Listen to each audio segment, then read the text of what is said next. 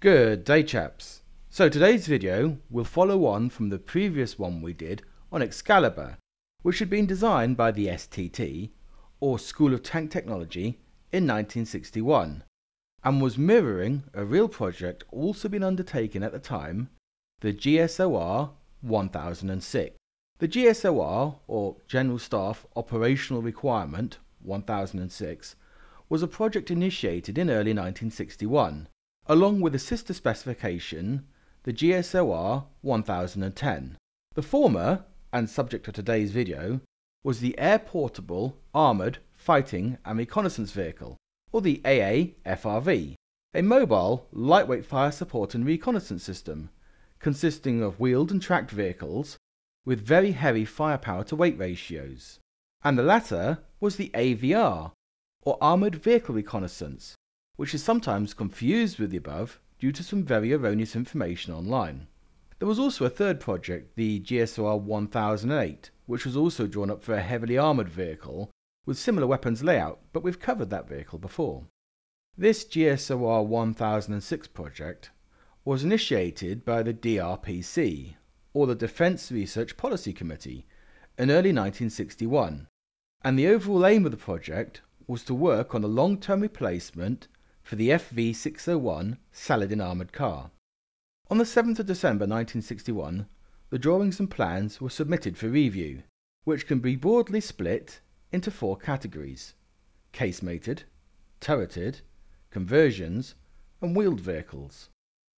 All these machines offered very long range firepower, while their sister project, the GSOR 1010 vehicles, although fairly heavily armed, focused more on mobility and reconnaissance than the firepower aspects. Following this review, the Defence Committee noted that having two separate niche systems was going to be problematic, and so merged both projects under the GSOR 1010 programme, which then became known as the Revision 1, and was initiated by the Director of the Royal Armoured Corps in 1963. This GSOR 1010 would then evolve into the AVR GSOR 3301 in 1964, and then merge with other existing fringe projects such as the LHMTV and the GST31 programs, and then later split again from AVR into CVR with combat vehicle reconnaissance, with both a tracked and wheeled version forming the CVRT and CVRW. There is even more to this story, to be honest, and plenty of smaller general staff requirements, but these tend to be minor items and modules, such as radios and weapons, which all merge into the melting pot. So let's take a look at our main vehicle today, the 1006 series, or those that at least survived. Some data was not present on the cards themselves. However, we do know that the project as a whole had set guidelines. So, for example, while armour is not individually listed, we do know that it had to resist small arms and splinters only. Secondly, None of them list the speed. Yet we also know the initial requirement was listed for a speed to be not less than the Saladin at 45 miles an hour for the tracked vehicles, or Ferret at 58 miles an hour for the wheeled vehicles. And so from that we can base a broad speculation over the vehicles as a whole. So let's start at number one. This was a casemated vehicle with a 105mm high velocity gun with a limited but unlisted traverse. The gun has an elevation and depression of plus 15 and minus 10 degrees, and comes with either HESH or APDS, with 20 rounds of the former and 15 of the latter in what appears to be two-piece rounds. It also features 8 swing fire missiles mounted in its back bins angled up at 45 degrees. Secondary protection is from .50 and .30 pintle mounted machine guns and a coaxial. The crew is three, and both the driver and commander can also act as the gunner. The commander, with his cupola, will control the missile, while the driver will aim the main gun due to the casemated nature. The overall weight is listed at 33,000 pounds, or 14.9 tons, which will allow it to fit inside the Beverley aircraft.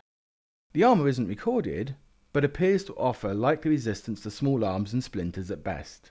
The power is provided by a 240 horsepower multi-fuel diesel engine with an Allison gearbox and a differential steering system.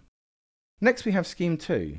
Like the previous vehicle, this is also a casemated design, and if I may say so, is quite ugly. Uh, sort of like a Ferdinand had a drunken fumble with an FV432, and nine months later this was left on the door of the MOD. The automotive and crew aspects remain the same, with a 240 horsepower engine, albeit mounted in the front left of the vehicle this time, and the weight remains at 33,000 pounds. The main difference is this one has more rounds, with 35 105mm APDS rounds and 24 HESH rounds, and keeps the 8 Swingfire missiles on the back in a similar arrangement. However, 2.50s are now provided, one coaxial and one pintle, with 1500 rounds each. The main gun has some odd traverse angles due to the casemated shape and the engine placement, resulting in more gun traverse to one side than the other, being 15 degrees and 10 degrees, while the gun depression is lower at minus 8 and elevation at 15. The armour, like the rest, isn't listed, although it seems to have some, if still thin, around the gun mount. The next vehicle takes a bit of a different turn. GSOR 1006 Scheme 3. This was based heavily on FV430 parts, and although the same engine and transmission as previously mentioned in the front left of the vehicle, this machine has very much a range standoff design, having no guns other than the single .30 with 3000 rounds for close defence. It did however pack 24 Swingfire missiles, with 16 ready to fire and a further 8 in stowage for a quick reload. There were 12 missiles in the main hull centre, angled up to fire forwards, and a further 4 in two pairs facing left and right, which, given Swingfire's ability to turn 90 degrees within the first second of firing, gave this vehicle a huge offensive bubble around it. The crew consisted of two men in a stepped front and back configuration, a commander controller, and a driver controller, and both were able to fire the missiles and pilot them at the same time while nearby infantry detachments could also do the same via remote control, allowing the vehicle to have four missiles in the air targeting different vehicles at the same time while remaining behind cover. Again, no armor is listed, but it's doubtful it's anything more than the FV430 family of around 12mm of protection. However, she is marginally lighter at £29,000 or 13.1 tonnes. The fourth design was very similar except that the engine was centre left which is a bit of an odd placement. The missiles have been reduced to 22 missiles, with 12 ready to fire via the two crew and any supporting infantry again, and a further 10 missiles are carried in reserve. The two side launchers have been removed, and the crew are now mounted side by side to the front, possibly for better vision arcs. And the most noticeable feature otherwise is the inclusion of a 20mm Bofors cannon with a thousand rounds for a bit more support. Other than this, it's very much a similar case in engine, hull type and transmission, and the weight remains the same. Moving on, this is where we see turreted vehicles appear, although they're by no means conventional turreted concepts. We'll begin with number 5, which is an odd one, as not only does it look a bit strange, but it appears there are at least two vehicles with the same number allocated. Quite why is not recorded, so let's take a look at each. The first is this one, with a layout that one could be forgiven for looking like a small SPG, this vehicle has a setback but not entirely rear mounted turret, which also contains all three crew.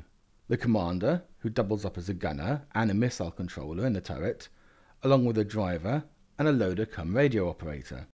There does not appear to be a counter rotating compartment like the Excalibur, for example, which should make driving this vehicle particularly tricky. The main armament is a 105mm high velocity gun with 35 rounds, a .30 coaxial, and a .50 ranging machine gun, and then 9 Swingfire missiles sort of slapped onto the back of the turret. The weight is £30,000 standard, which is fair at this point, and the engine is the same, but front mounted along with fuel and gearbox, which is now recorded as an Allison XTG 250 cross drive gearbox. The second vehicle, also called Scheme 5, is the more infamous of the two as this one appeared on the website Think Defence some years ago, possibly clipped from a magazine or such. However, on that site it was named AVR, which to be fair, it's not. Those were the GSOR 1010s, as we covered. And so, the internet being what it is, just copied and pasted that page over and over until what appears to be an honest mistake became the truth. Either way, this is the AAFRV GSOR 1006, and like the Excalibur from STT, mounts the turret to the front in a low down hull position, while the rear of the body mounts 16 Swingfire missiles, 8 either side in a sort of chubby squat shape. There are also two engines listed, the Rolls-Royce K60 multi-fuel engine, as found in things like the FV432, of which the main body is a heavily modified form, with an Allison gearbox, and this one is referred to as a short-term vehicle. The other is dubbed the long-term, with a K50 200 horsepower engine and new light tracks and suspension, for saving around 1500 pounds of weight. The main gun is 105mm, but also recorded as a medium velocity gun with HESH only, and minus 10 degrees of gun depression and 20 elevation with 45 degrees of side of traverse. The crew was three again, the commander, gunner and driver, and this is also the only vehicle drawn up with a duplex drive and amphibious layout, with raisable fabric skins and covers for its missile bins, as well as also the only vehicle I've seen with smoke pots added to it. There was a smaller Little 1006 drawn up, which appears to be very similar to the previous vehicle, being the smallest of the tracked batch, and this has the same multiple engine choices, the K60 or 50, and a lower weight of just 11.7 tons. However, this Whittle Doom box has a rapid firing 76mm gun with 35 rounds and 45 degrees to traverse either side, with minus 10 gun depression and 20 elevation. But this smaller gun is there to account for its massive missile payload of 20 ready to fire missiles, with 8 in either cheek and a 4 further missiles in raisable boxes which slide up from the rear, and all three crew can fire the missiles independently. Anybody that survives the barrage of 76mm and 20 missiles in the face can be expected to be peppered by its .30 machine guns for good measure. One of the last tracked vehicles that we know of in this family is the sixth scheme. This is the heaviest of them, although not by much, it's still at 14.3 tons. The vehicle has the same engine and transmission that we're used to, with both mounted in the back. The main weapon is the larger 105mm gun with 11 APDS and 24 HESH rounds and 11 swingfire missiles in a rear bin style setup. The main gun is still front and center in style, but now has 90 degrees of traverse over either side and a gun depression of minus 10 and an elevation of plus 17, and a .50 and 30 are provided for close protection. The crew is still three, all located inside the turret itself, with the commander to the right facing the tank and the driver and loader to the left. The final two vehicles that we know of are both wheeled machines. The first is somewhat sensible, inasmuch as any of these machines are. The first vehicle is recorded as Scheme 1 and comes with a 105mm medium velocity gun with 35 rounds of HESH and 6 swingfire missiles in a butterfly configuration and a further 6 in reserve. Due to the missiles taking up space on the back decks, the turret traverse is limited to 125 degrees either side, with minus 10 degrees of gun depression and plus 20 in elevation. It would appear from the drawing that this gun depression will be limited to the front over the driver's cabin. The vehicle is a 6x6 configuration with either a Rolls-Royce B81 185 horsepower engine or the conventional 240 horsepower type as covered before and both engines are rear mounted. Whether the vehicle was to use skid steering or not is not recorded, but it is possible as this was being studied at the time. Crew wise, it was variable, with either four commander, gunner, driver, and loader in a sensible three in the turret, one in the hull layout, or just three crew but with reduced abilities. And then we move on to the second vehicle. This one is recorded as GSOR 1006 Scheme 7, which means there could be five more missing vehicles. Or not, we may never know. However, this vehicle is packing about as much firepower as one can strap onto a set of wheels. The main gun is still 105mm with 35 rounds of HESH and a coaxial .30, but to support them it has 12 ready-to-fire missiles strapped to the back, and all of the crew, bar the driver, can fire them even on the move, although quite how is not recorded. The vehicle itself seems to have taken some inspiration from the French Panhard models, particularly around the well-angled face. Well, guys, that's it for these vehicles. They were an interesting set of ideas, although perhaps not the wisest ideas. They show what was being considered at this time, and one can also see why they were dropped or merged with the more sensible 1010 concepts, which carried over the smaller 76mm guns and a more sensible number of Swingfire missiles. As this project evolved into the CVRT, the missiles came back now and then, and ended up as the Striker in the long run. If in future I discover more information on this, documents lost or misfiled at the archives and so on, I'll keep you posted. But until then, if you like this, give it a like or share it about in places. I think many of these vehicles could be viable in games like World of Tanks, although maybe without the missile bits. Let me know where you think they might fit in. And until next time, toodle pip.